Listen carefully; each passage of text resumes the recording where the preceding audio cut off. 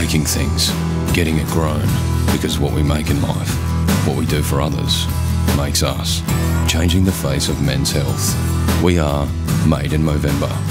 Register, grow, and donate at Movember.com.